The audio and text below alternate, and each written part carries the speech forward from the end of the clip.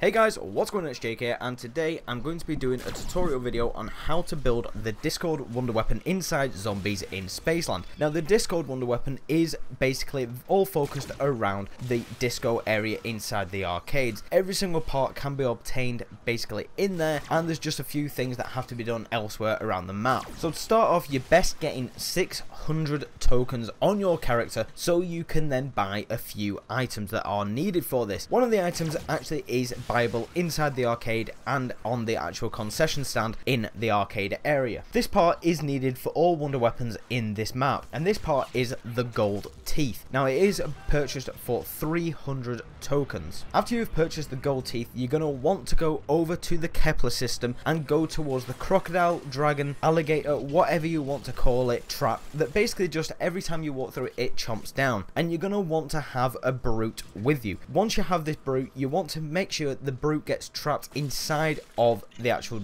alligator as he's about to chomp down. He will stop it from coming down on him and basically it breaks three teeth on each side of the actual trap. So doing this will reveal a new door in the back of the alligator crocodile mouth and this allows you to actually pick up an item later on. So doing this early as possible really does help out but there is no order that these steps actually need to be done as as everything basically just goes together at the end. Next you're going to want to place three coins inside the souvenir machine just outside of the arcade at the bump side location in the journey to space area. Now these three coins actually are one of every single colour so you want a red, a green and a blue in there. It doesn't matter what order they go in as long as you get one of each in there you will end up getting a disco part that ends up going onto the board to actually get the weapon. Next you're going to want to have a pair of the sunglasses that make your vision go black and white and you're going to want to look around three areas of the map for some targets that spawn. Now these targets only spawn one at a time and I'm not sure I have all the locations in this video but I do have the majority of them. So these targets literally do just spawn, they can be inside an item, they can be off a roof, off a ceiling or they can be outside the map. So the three areas that these targets can be in is the spawn and the connecting area that sort of joins everything up, the polar section and the arcade. Along with the arcade is also the bumper car area but I'm counting that as the arcade because it's right next to it. So as I say, they can be inside objects, they can be outside the map, actually in like the zombie spawning windows, and they can also be on the ceiling and the roofs of actual buildings and areas. Once you've shot five targets, you will end up having to go back to the arcade area, and looking on the dance floor, you will see a battery floating. Now, it's very, very small battery, but you can actually tell. So go up to it and hold square X or whatever to pick it up, and you will end up collecting that item in your one last item to go until you can use the Dischord weapon. So for the final part that you want to collect, it's going to be a little green gem. This gem is basically normally obtained by doing the actual elemental upgrade for the arc attachment for a weapon.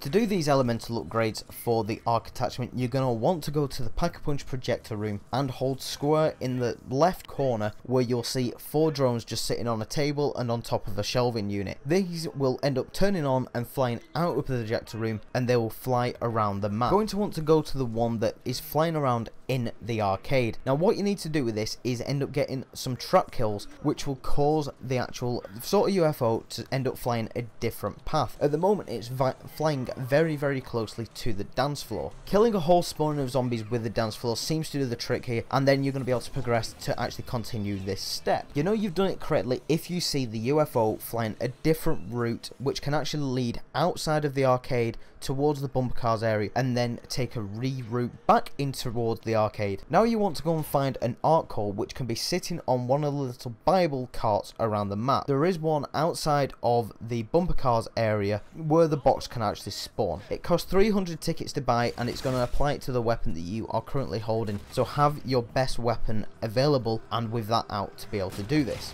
Now you're going to want to get kills with the weapon that has the arc attachment on near the little UFO drone that is flying about. What you'll see is the soul from the zombie sort of go into the drone and when it is full you'll see it just drop a little green speck. Now what this green speck is, is the actual arc upgrade which actually gives it like an element upgrade. What you're going to want to do now is go across to the actual crocodile trap that you did actually open the door in the back of its mouth and you're going to want to shoot it with that arc attachment. That will soon open up one of the little doors on the item that is there and this will give you the final piece that you are needing to craft the Dischord weapon. So go back over to the arcade towards where the actual concession stand is there and you will see the cardboard cutout with an alien holding the weapon. Go up to that, hold square at X or whatever key you use on PC to basically place each individual item. Now once you've done that it will enable you to pick up the weapon from the character. Currently no upgrade is known for this weapon so this is basically what you've got at the moment but I suspect there is going to be an upgrade available for it. It's just not known yet. Obviously we are only two days into the map so we should actually see something hopefully in the future. Whether it's you need all four to do it but hopefully something is available to upgrade it make it a little bit more powerful and it kills more zombies. But obviously this is basically what it does. It lets the zombies just spin around when you shoot it and that zombie will kill a load of other zombies that are in its way. Basically, it is actually quite a powerful weapon, and I do see it actually working well into the higher